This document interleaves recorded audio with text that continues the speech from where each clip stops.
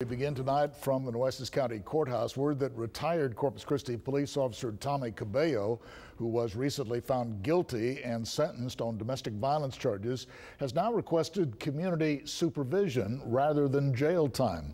A motion was filed this afternoon by Cabello's attorneys requesting what is known as shock probation, meaning Cabello would be released from jail and placed on community supervision.